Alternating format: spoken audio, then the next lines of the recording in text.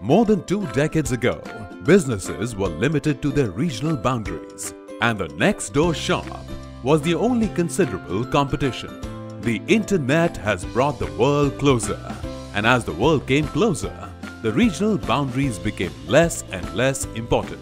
Internet has made all of this possible.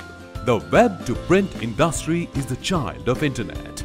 The child is an adult now, and the online consumer is aware of possibilities that technology offers. The buyer wants more than just the printed products you are selling online. They are imaginative. They have always been. The idea of online product personalization is a win-win concept for both the buyer and the seller. Only if you know a quick and an easy method to integrate a web to print design tool or to build a web to print store from scratch.